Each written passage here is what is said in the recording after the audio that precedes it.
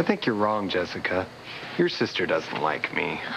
The only reason Kay sounded irritated before is because she got jealous when she found us together.